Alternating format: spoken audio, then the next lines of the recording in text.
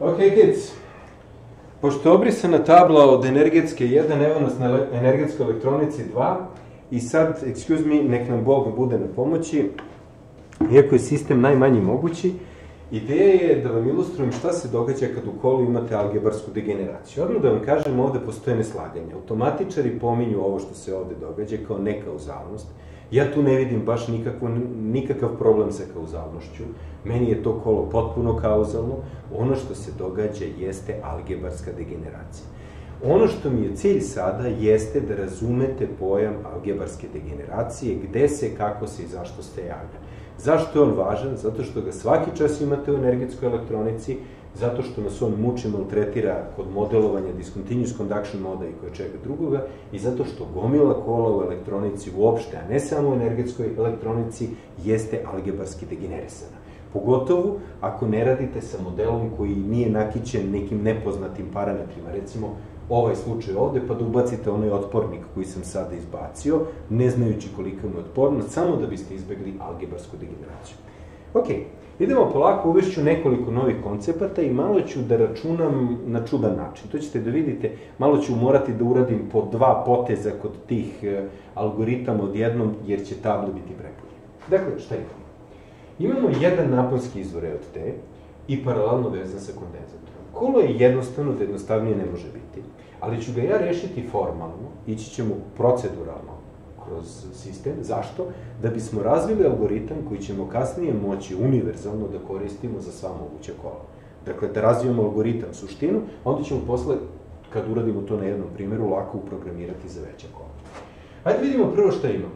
Imamo dve grane, jedan i dva, dakle, izvor i kondenzator, imamo jedan čvor koji nije nuti. Dakle, ovo je nuti čvor, ova masa, to znate, već nema šta da vam pričam oko toga, nula čvor, i on nije izbačen iz priče. Dakle, nn minus 1, to treba da uvedem novo slovo za nn minus 1, dakle, taj broj čvorova umanjen za 1 je 1, broj grana je 2, prema tome broj tablo, e, red tablo modela je nt, koji je jednako 2np plus nn minus 1, to je 5. Dakle, evo i to smo izradili. I šta imamo? Kirchhoffov zakon za struje koliko ima jednačina n minus 1 i 1 plus i 2 i jednako 0. Kirchhoffov zakon za napone. Samo ću sve napone grana da izrazim preko potencijala čvorova. U1 minus V1 jednako 0. Rešeno.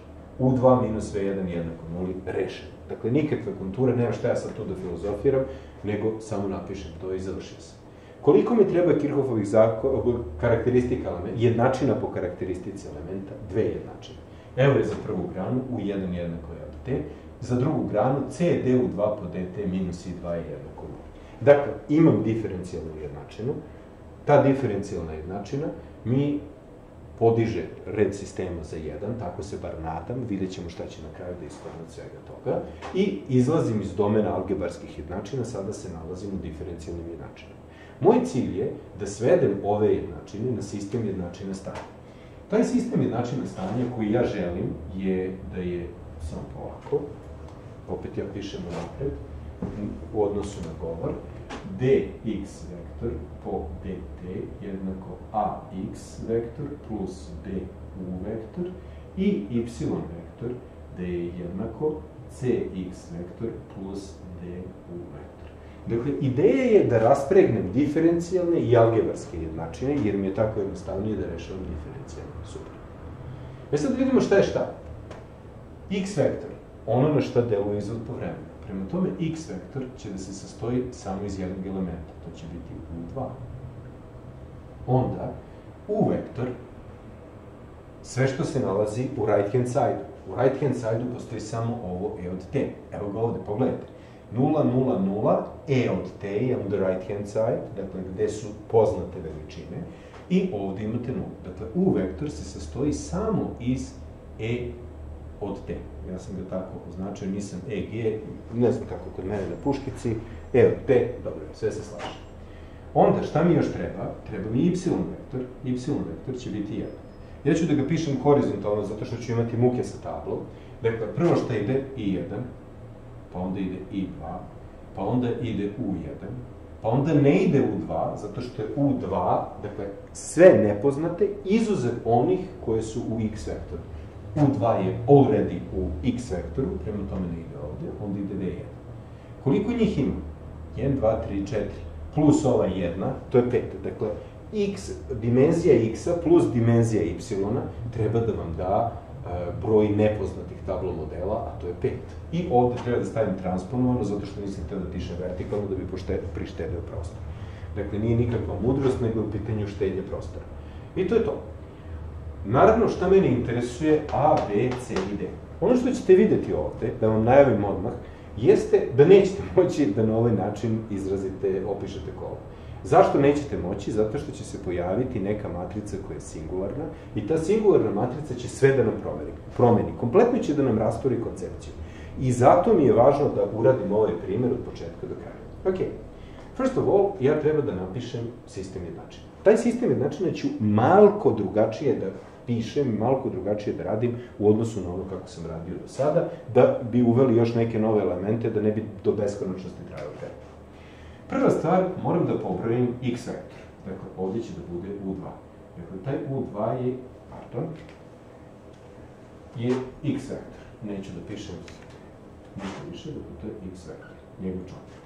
Onda, ide y vektor. Dakle, ovdje će da ide i1, i2, u1, v1. Ok.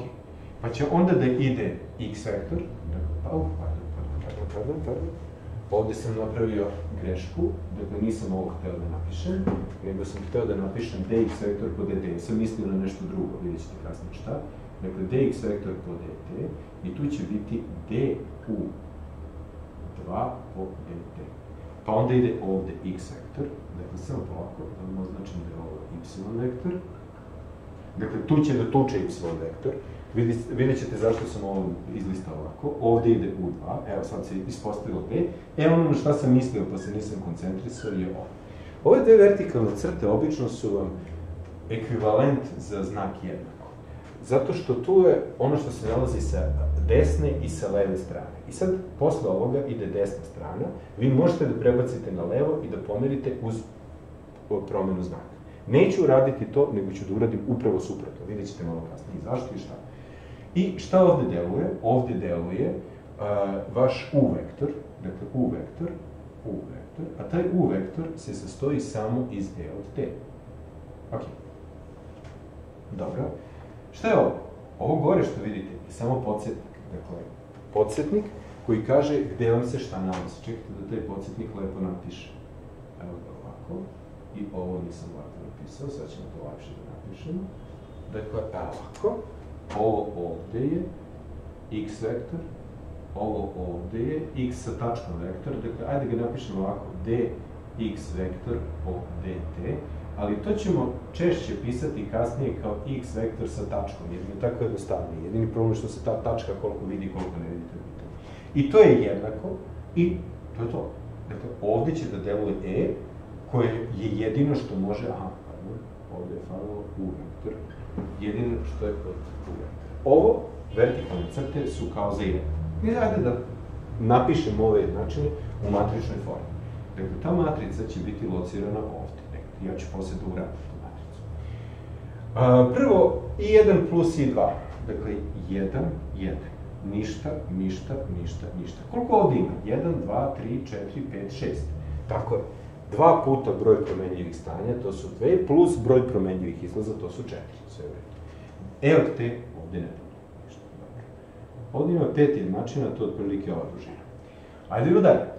Kirchhoffov zakon za napone. U1 minus V1. Dakle, U1, 1, minus 1, tačka, tačka, tačka, tačka, tačka. Onda, U2 minus V1. U2, 1, minus 1, tačka, tačka, tačka, tačka, tačka. E, sad vidimo što imamo dalje. Dakle, to su Kirchhoffove karakteristike elementa. U1, U1, pa onda tačka, tačka, tačka, tačka, tačka i sa desne strane je E od T i ovde pišem 1. I onda sad jasno, mislim, sam radio jedan problem numerički, pa sam onda stavio, e, ovde neka bude E, da je jednako 1, da je napon jednak 1.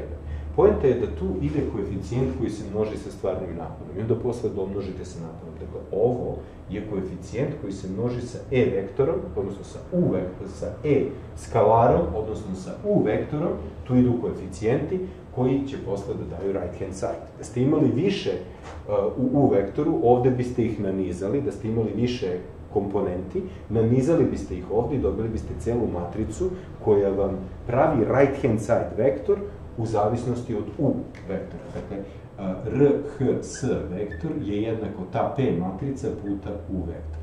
Dakle, to je to. Ta P matrica će sada da bude ovo, jednom djelom. I ostala je još jedna jednačina koja kaže CD u 2 po dt, dakle ovdje je C, minus I2, gde je I2, evo ovdje, minus 1, tačka, tačka, tačka, tačka, da je jednako 0 i tačka. Evo, to je to, to je to, važi. I evo je matrica. Ok. E sad, šta sam ja radio ranije? Ja sam vam ranije ovo jednako prebacivo na desnu stranu da bismo radili um, eliminaciju. Jer onda mi je, sa desne strane su mi samo nule, pa se ništa... Međutim, ne moram to da radim. Jer ista stvar, jednakosti će da važe, bez obzira gde sam stavio jednako. Ja ću sada to jednako da prebacim ovde. Ako ja to jednako prebacim ovde, šta se događa? Događa se sledeće. Ja izmestim jednakost odavde ostaće ova rupa, da znam da tu ne moram ništa da radim. Jednakost ću da prebacim ovde. I ja to znam, negde sam notirao gde mi se znak menja. Ali, pošto sam prebacio jednakost, ja sam mogu U2 prebacio na desnu stranu prije znak minusa. Dakle, prethodne matrice su nestale. Šta će da se desi? Ništa. Sve isto radim. Isto radim Gaussovu eliminaciju, sve, sve, sve isto, samo će mi identifikacija kasnije biti jednostavno. Ok. Šta je moj cilj sada? Moj cilj sada je da svedem ovu matricu na ovako nešto. 1, tačka, tačka, tačka, tačka, tačka, 1, tačka, tačka, tačka, tačka, tačka, 1, tačka, tačka, tačka, tačka, tačka, 1, tačka, tačka, tačka, tačka, tačka, 1. Dakle, da sa ove strane bude jedinična matrica. Onda, šta će mi biti ovo? d u 2 će da mi bude jednako a puta x, dakle ovde će da bude a matrica. Ovde će da bude b matrica. A šta će bude ovde?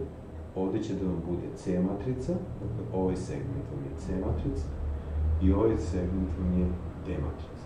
Dakle, nema potrebe za promenom znaka sada, jer ste to već uradili, i samo treba da, kada svedete na reduced draw echelon form, dakle ovde, je odavde R, ref, reduced draw echelon form u oktavu. I to je to. Dakle, treba da izvršite ono što se u moje doba, u doba moje matematičke gimnazije i srednje škole zvalo Gauss-Jordanova eliminacija. Da ovu matricu, ovaj kvadratni deo, svedete na jediničnu matricu i da samo očitate vaš model stanja. Šta je problem? Problem, kako ćete videti, je u tome da ćete da imate fundamentalnu muku, nećete moći da dobijete ovde e, diagonalnu matricu, jediničnu matricu. Zašto? Zato što ova matrica je rank deficient. Ona će imati rank koji nije 1, 2, 3, 4, 5, nego će imati rank koji je jednak 4. Dakle, ona će imati malko manji rank. Do čega će to da dovede, vidjet ćete sada kroz ovaj primjer. Dakle, to je ideja da na primjeru vam pokažem, a da onda posle pokušamo da generalizujemo celu stvar, da vidite šta to izaziva u vašem kodu. Okay? Ovde sad moram krajnje oprezno, zato se i koncentrišem na puno parametara, zato što e, sa tablom će biti muka, jer će biti puno transformacije i puno posla. Ok, sledeći korak je isto ovakvu strukturu hoću i hoću da uradim pivotove. Ne može biti pivot, ne može biti pivot, ne može biti pivot, ne može biti pivot, može biti pivot. E, pošto to može biti pivot, ja ću sada da ovu jednačinu stavim kao prvo. Dakle, ona će biti c, tačka, minus 1, tačka, tačka, tačka, tačka. Ovde će mi biti jednako. Dakle, to je meni orijentacija. Dakle, ja radim reduced row echelon form kao da je jedinstvena matrica. Dakle, nigde se ovo ne pamti, to je samo meni oznaka u svesti gde stoji jednako. Od kog mesta pa nadalje se menja znak koeficijenta. Ok. Dakle, ovo imam kao pivot. Ja bih mogao sad ovu jednačinu da podelim sa C. Međutim, neće mi to biti potrebno, vidjet ćete kasnije zašto, pa neću ni da delim sa C, da mi vučem ovde minus 1 sa C, to mi smeta. Ok. Onda sledeća jednačina neka bude ova. Dakle, ide ovako. Tačka, 1, 1, tačka, tačka, tačka, tačka. To je dve jednačine smo zbrili. Ajmo što ćemo da radimo sa trećom jednačinom. Treća jednačina, dobro, treća jednačina, ostale su tri još u optici. Kao što vidite, nijedna nema kandidata za pivot ovde, to će nam biti problem. Hajde da prebacim recimo da mi ova jednačina, koja je četvrta, postane treća. Znači ona će biti ovako, tačka, tačka, tačka, jedan, tačka, tačka, jedan. Ok? Dakle, nju sam potrošio. Dakle, šta sam potrošio? Ovu sam potrošio, ovu sam potrošio, ovu sam potrošio. Koliko je ostalo? Ostale su još dve. Koju ćemo prvu? Ajde da stavimo ovu koju ćemo da pivotujemo. Dakle, ovo će da bude tačka, tačka, tačka, 1 minus 1, evo onda ide tačka, tačka, tačka, tačka, ok? I onda na kraju ide ova koja ima samo koeficijente. Ovde, međutim, pošto već ima minus 1 i minus 1, tako, V1, što bih ja to radio? Ja ću da uzmem da promenim znak odmah. Da će da bude ovako, tačka, tačka, tačka, tačka, 1, 1, tačka. Ok. Tako mi je jednostavnije, što je pisao te minuse, ne znači mi ništa. Ovo naravno nije idealan metod za um, algoritam.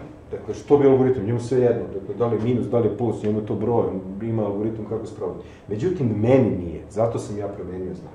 To je razlika kad radite mašinski i kad radite ručno. Ručno možete napraviti grešku. Dakle, uvek vas tuku iste, uh, iste promenljive. Dakle, ovde će vam doći y vektor koji množi ovo, y vektor. Ovde će doći x vektor sa tačkom.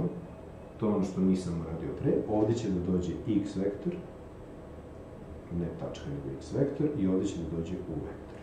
Dakle, ono što sam želeo to je da vam svedem ovo na konkretne brojeve. Dakle, sad više nema nikakvog povezivanja. Ova matrica vam se samo sastoji iz brojeva, plus 1, minus 1, 0 koji indikuju povezanost i eventualno parametri komponenta, to je c. Parametri right hand side vektora se nalaze u u vektoru. U vektor će da tuče ovde. To je to. Nisam lepo ovu vitičastu zagradu napisao. Ok? To je. Šta je sledeći korak? Sledeći korak je, ajde da vidimo šta se događa sa pivotima. Evo ga ovde pivot. Ok? I on je izbio sve veće izbijeno gore i dole. Dakle, nema šta da radi. Super. Sledeće mesto gde bi trebalo da tražim pivot je u trećoj koloni. Međutim, u trećoj koloni, dakle, ova dva su sređena. Hops, nastaje problem. Ovde imam nulu, ovde imam nulu, ovde imam nulu. Dakle, ovde imam failed pivot. Gde imam taj failed pivot? Hop, kod I2. Dakle, I2 je struja koju ja neću moći da eliminišem za početak. Dakle, tu se javlja problem. Dakle, problem se javlja kod ovog kondenzatora, kod njegove kopromenljive strane. Nju neću moći da izrazim o funkciji ostalih, e, ostalih parametara. Šta radim? Pa ništa. Radim svođenje na reduced row echelon form. Dakle, gledam koji je prvi sledeći pivot. Prvi sledeći pivot koji može biti je ovaj ovde. I to će biti pivot. Ajde sada kada to ispivotujem, kako će da izgleda cela stvar? Izgleda će ovako. Hop. Ja se nadam da vi ovo vidite, jer ja se baš mučim ovde da pišem. C, tačka, minus 1, tačka, tačka. Pa onda ide ovde dupla vertikalna, tačka, tačka. Pa onda ide tačka, pa jedan koji je pivot, pa ovde ide jedinica koju neću moći da eliminišem, jer nemam pivot, pa onda ide tačka, tačka, tačka, tačka. Ok. Idemo dalje. Tačka, tačka, tačka, e, ovo je failed pivot. Onda ide pivot koji moram da koristim. To je to. Tačka, tačka, 1. E, šta ću da radim s ovim? Pomnožit ću sa minus 1 i dodat ću ovde. Dakle, to pomnožim sa minus 1, tačka, tačka, tačka, i dodam dole. Dakle, ovde ostane tačka, onda ovde mi ostane minus 1, evo ga, onda ovde mi ostane tačka, pomnožio sam sa minus 1 i dodao sam ništa, minus 1 puta ostane minus 1, tako, to je to. I šta ostane još dole? Tačka, tačka, tačka, tačka, 1, 1, tačka. To je to. Dakle, ovo je sledeći korak u transformaciji po algoritmu Gauss-Jordanove eliminacije po algoritmu za reduced row echelon.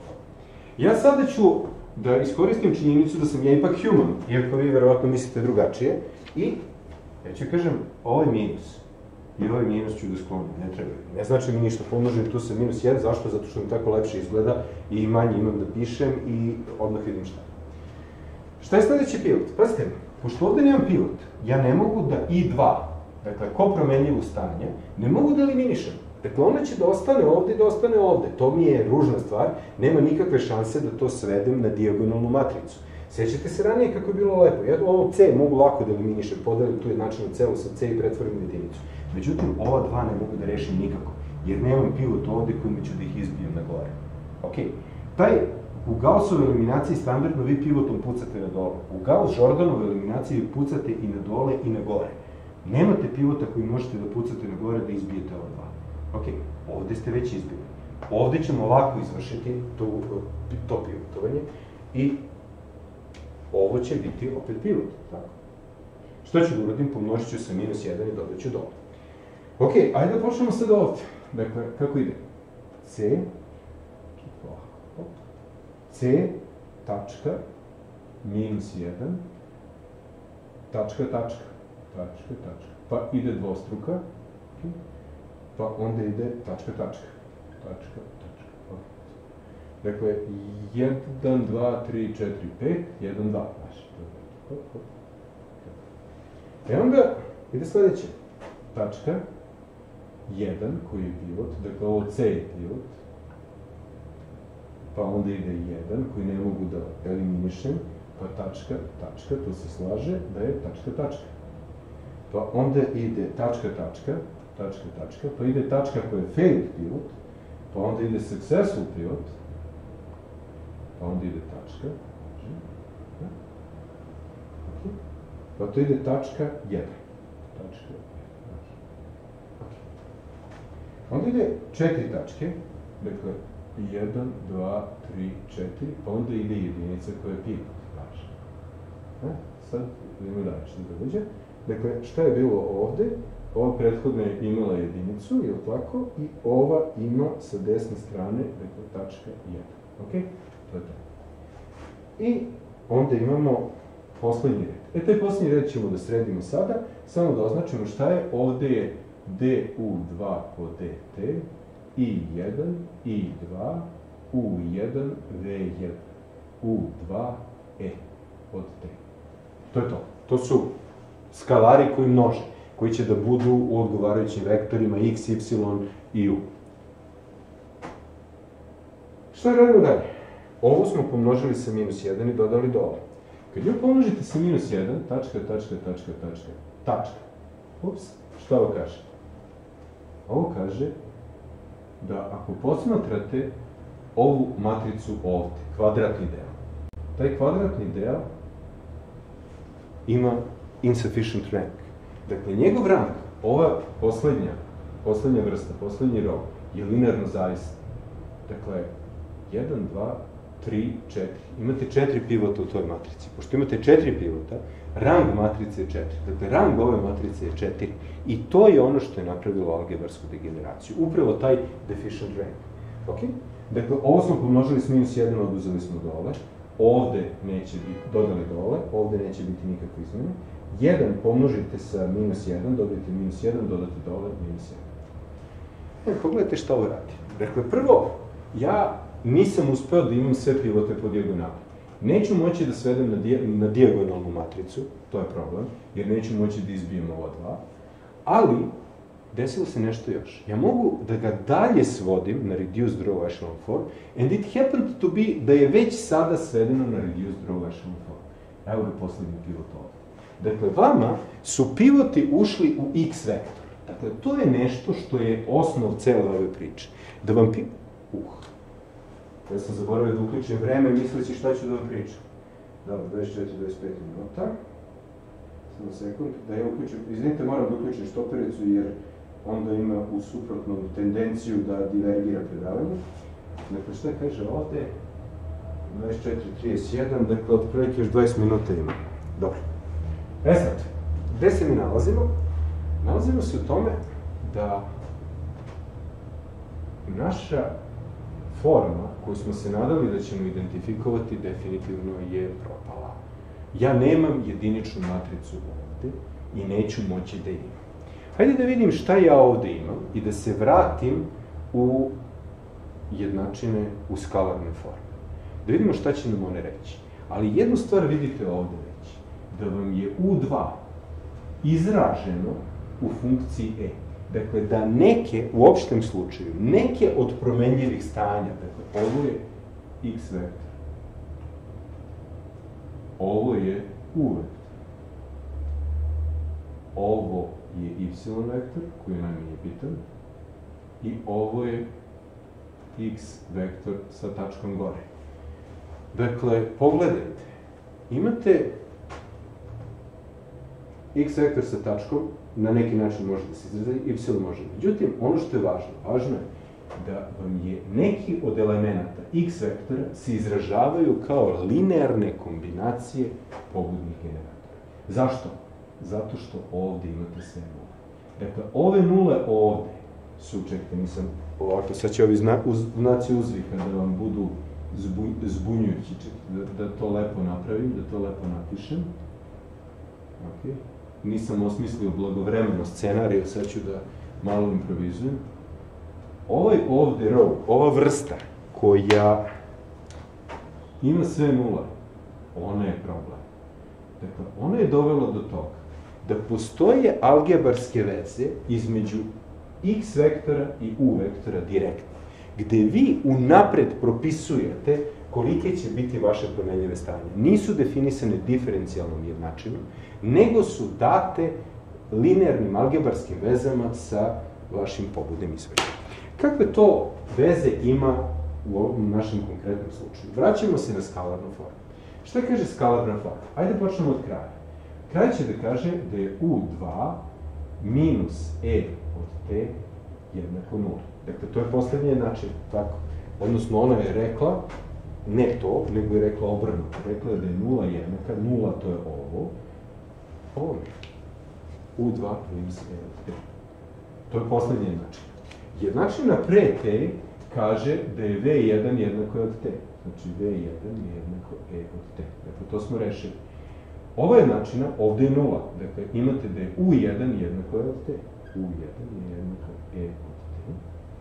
Onda što imamo dalje? Imamo ovo, da je I1 plus I2 jednako 0, dakle I1 plus I2 jednako 0 i to je jednačina gde nismo mogli ništa da uradimo. Dakle, nisam mogao da razdvojim I1 i I2, nisam, jer nisam imao pivot, nisam mogao odavde da izbijem I2, nisam mogao odavde da izbijem I2. Jedna jednačina, dve jednačine, tri, četiri i ostala je peta koja kaže da je C DU2 po DT minus I2 jednako 0. Hm, dobro. Šta ja ovde imam? Ova jednačina mi kaže gde je algebarska degeneracija.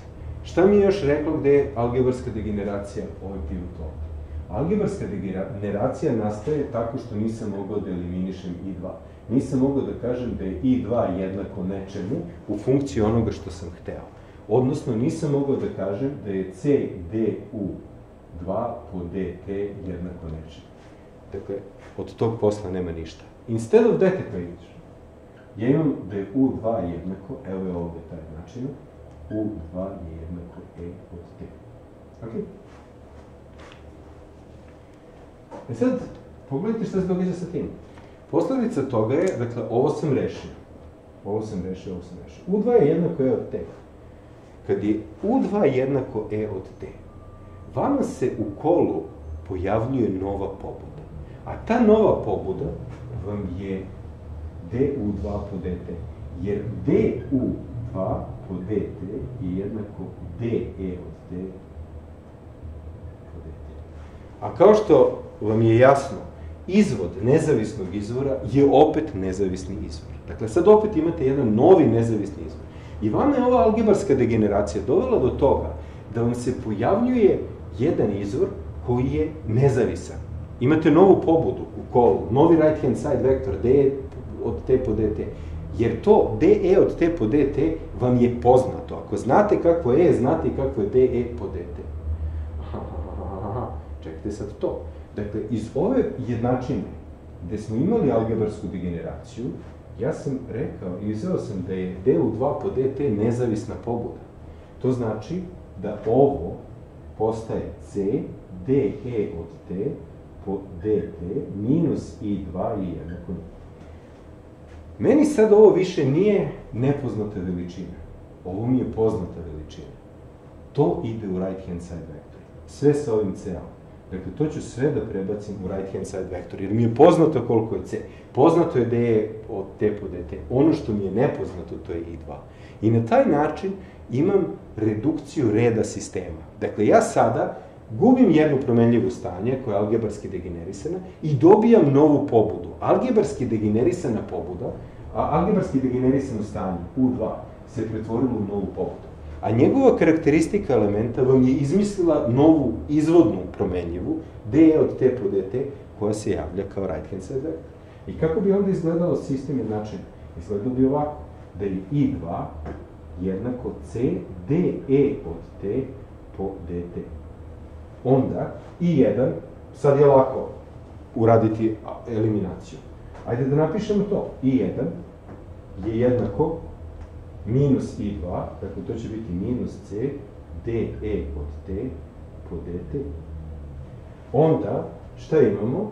Imamo da je uh, u1, u1, ove dve mogu da izmene mesta, dakle da budu u redoslodu kako smo hteli da rešimo po... Ovo više nije promenljiva stanje, dakle i 1 i 2 da rešavamo po y vektoru, dakle u1 će da bude jednako e od t, jer to piše nego, piše e od t, u2 će da bude jednako, to mi je rekla algebarska degeneracija, da je to e od t, i to sad više nije promenljiva stanja. I poslednje jednačina će biti, poslednja jednačina, poslednja jednačina gde je da je V1 jednako E od T. Ok. Aha, dobro. Ja sad ću malo da iskoristim prednosti table. Ovo ću da lepo napišem, tako što ću da izokrećem jednačinu. Dakle, kaže da je I1 jednako minus C, a da je I2 jednako C d od T po dt. Šta sad ima?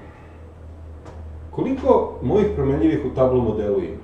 Moj tablo model, da ga rešim s tačke gledišta teorije električnih kola, bez matematičkih fikcija, bez raspakivanja načina na algebarski diferencijalni, kaže meni treba pet promenljivih. Te promenljive su I1, I2, U1, U2, V1. 1, 2, 3, 4, 5. 1, 2, 3, 4, 5. Dakle, to je kolo rešeno. I pogledajte kako je kolo rešeno. Jer sad imate oblik da je dx vektor po dt jednako ax vektor plus du vektor solid 2. Toga nema. Zašto? Zato što um, d diferencijalna jednačenja nema je. Ovo d po dt vam je nova pobuda. Dakle, to vam je nova poznata funkcija i vama je red kola sada nula. Imate kolo nultog reda kao da je rezistivno kolo.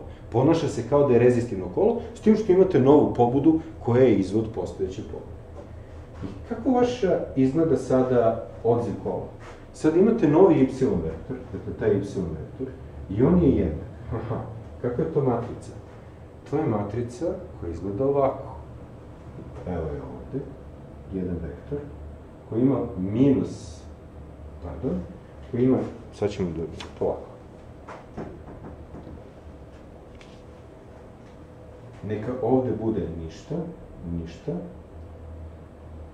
pa će ovde da bude 1, 1, 1, puta u vektor. Tako. Dakle, time sam rešio ove e-ove, pošto mi je u vektor jednako e od t u formi matrice. Dimenzija je 1 puta 1.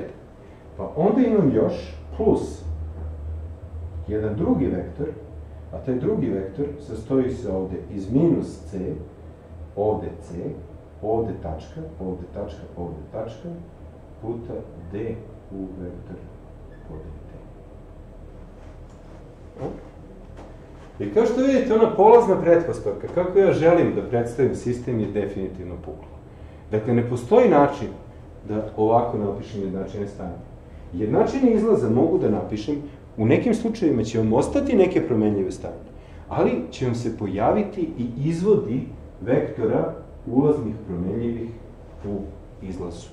I to je ono, prvo, šta sam ovde promenio? Promenio sam to što moj novi y vektor, aha, da, polako, novi y vektor, nisam ga napisao, a zapravo jesam ga napisao da nisam formalno napisao, čekaj da ga napišemo formalno, i jednak, ovde, hajde da ga napišemo formalno, dakle i1, i2, u1, u2, v1, i to je y vektor, planirno kola. Ja sam ovo nalazio u nekim dezorovim radovima iz ko zna kojih godina, nekada davno, iz prošlog veka, Međutim, ova formulacija nisam je vidio nigde. Dakle, to sam ja smislio tako da predajem i meni je to objasnilo mnoge stvari koje se događaju prilikom modelovanja i prilikom analize kola. Dakle, šta je fenomen algebarske degeneracije? Fenomen algebarske degeneracije je u tome da ste uspeli jednu od promenljivih stanja, makar jednu. Dakle, kad, ako imate neki opšti slučaj, neke mogu da budu degenerisane, neke ne moraju da budu degenerisane. Pretpostavite da sam na istu ovu masu vezao ono prethodno kolo. Onaj njegov napon kondenzatora bi ostao ali, promenljiva stanja. A red sistema bi bio redukovan za ovu promenljivu koja je algebarski degenerisana. Dakle, algebarska degeneracija podrazumeva da se neka od promenljivih stanja izražava kao linearna kombinacija pobudnih izvora. Right hand side vector. Ako je to tako, To znači da će negde, pošto je u pitanju promenljiva stanja, u kolu neka kopromenljiva stanja, ona što je rezultat tog izvoda, dakle, ako imate da je IC jednako CD UC po DT, UC je promenljiva stanja, ovo IC je kopromenljiva stanja. Dakle, ako vam je ovo nekakva alfa puta U vektor, alfa vektor put dot U vektor, dakle, neka linearna kombinacija, pobuda, pobuda, onda će vam se izvod tih pobuda pojaviti u IC. A to IC će vam kasnije propagirati. Dakle, my point, vama se to IC sada pojavljuje kao strujni izvor.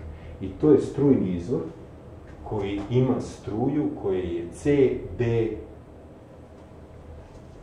napona na kondenzatoru pod Dakle, šta je rešenje kola? Rešenje kola je ovo da ovde imate strujni izvor i da taj strujni izvor ima struju C, D, E od T po DT. I to mogu da uradim tek onda kad znam povezivanju kola, dakle po topološkim jednačinama, da je ovde napon E od T. I moje rešenje kola je upravo adekvatno tom rešenju.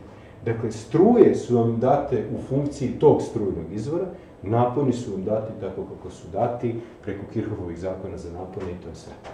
E, to je to. Na ovaj način sam hteo da vam pokažem algebarsku degeneraciju. Dakle, šta radi algebarska degeneracija? To the best of my knowledge. Algebarska degeneracija je uh, jedini slučaj da možete da dobijete izvod ulazne promenljive, ulaznog uh, generatora, dakle right hand side na izlazu. Ne možete drugačije. I to mi je uslova algebarska degeneracija. Tipičan primjer takvog kola, inače ovo, koliko sad imam, sad sam da imam šta sam zaboravio sa vremenom, znam da sam pobrkao, uh, 38, dobro, ne, se, nije ništa strašno. Mislim, da li da počinjem nešto novo ili ne, to je bilo moje pitanje. Ovo je ono što sam hteo da vam skrenem pažnju. Reduced draw echelon form će vam sve reći. Gde će vam se pojaviti problem i koja promenljiva stanje je degenerisana? Ona kod čije kopromenljive stanja, onog što nije promenljiva stanje, nego ona druga promenljiva, Dakle, to je napon na kalemu ili struja kondenzatora, nemate pivot. Kad tu nemate pivot, nju ne možete da izrazite u funkciji ostalih u kolu i onda će pivoti da vam se pomere i uđu u zonu vašeg e, vektora x, odnosno vaših promenljivih stanja. To će dovesti do toga da je neka od promenljivih stanja izražena kao linearna kombinacija ulaznih promenljivih. Ovo je jedini način da napravite kolo koje je ovako. V in,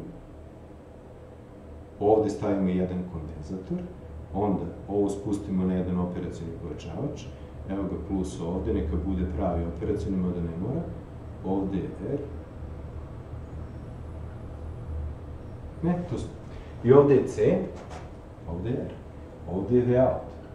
I ovo kolo ste vi radili do sada. Dakle, šta ćete imati? Imaćete da je ovde struja, IC jednako C dV in po dt, a onda dobijete V out da je jednako minus RC dV in po dt. I onda će vas napasti tu automatičari da vam pričaju priču, ne znam da li ovi naši ili ne naši, ili jedan s kojim sam pričao, kaže nije kauzalno. Što ovo nije kauzalno? Dakle, šta znači nekauzalnost? Znači da odziv ide pre pobuda. Ja ovde to ne vidim. Ja ne vidim ovde nikakav problem. E, ono što ja vidim ovde, vidim algebarsku degeneraciju. A šta radi algebarska degeneracija? Algebarska degeneracija vam između ostalog i ukida početne uslove. Kako vam ukida početne uslove? Svaki nivo, svaki red algebarske degeneracije vam ubija po jedan početni uslov. Pa šta bi bio početni uslov za e, napon onog kondenzatora? Pa vi ne možete slobodno da ga birate, zato što vam E od T definiše taj napon. Dakle, nema slobode izbora početnog uslova, jer vam je taj početni uslov već definisan sa ovim generatorom. Dakle, sad vidite i to, to je inače mene zbunjivalo dok sam bio student druge godine na teoriji električnih kola dok smo ovo učili, zašto, kakve veze to ima sa početnim uslovima? Ja razumem da je algebarski degenerisano, da je pridavljen taj kondenzator nekim naponskim izvorom ili da vam je pridavljen strujnim izvorom nekakav kao. Ali zašto? Zato što nemate slobodu izbora tog početnog uslova. Vi već ste rekli koliki je taj napon kad ste rekli koliko je E od T. I na taj način, a zašto je to tako? Zbog ove algebarske veze. Jer vam je ta algebarska veza trenutno vezala napon na kondenzatoru, odnosno u opštem slučaju promenljivo stanje, sa nekim od promenljivih ulaznog vektora. Dakle, hteo sam da razdvojimo, dakle, jedino filozofski argumenti i šibicarenje mogu da vas dovedu da je ovo nekauzalno. Ja ne vidim ovde nikakav problem sa kauzalnošću. Vidim algebarsku degeneraciju. Algebarska degeneracija vam je rasturila koncepciju da vam je dx po dt jednako ax plus bu, jer to ne možete da izrazite, jer vam je reduced rank, ova matrica. Dakle, ova koju treba da svedete na jediničnu, ne može da se svede na jediničnu matricu. Ona je na neki način singularna, nije invertibilna i zbog toga imate problem, ulazi vam pivot u promenljive stanja, vezuje ih algebarskim vezama za izlaz. To je to. Ovo sam hteo da vam ispričam, a zašto sam ovo hteo da vam ispričam? Zato što je svaki discontinuous conduction mode um, svaki discontinuous conduction mode vam ima algebarsku degeneraciju. Drugo, vodite računa da pretpostavljen oblik jednačina ne možete uvek da dobijete. Postoje za praksu značajni slučajevi gde ne možete da dobijete jednačine stanje, nego dobijete nešto malo. A šta još imam da vam kažem, pošto mi je ostalo još jedan minut, dva minuta da vam ispričam nešto. Dakle, zahvaljujem se ovima koji su mi postavili pitanja, jer ja sam mislio da ovo što vam pričam ste učili već na teoriji kola. Onda sam e, podstaknut time da niste učili, uzeo da pregledam šta sam ja učio iz teorije kola, koja je bila dvosemestralna.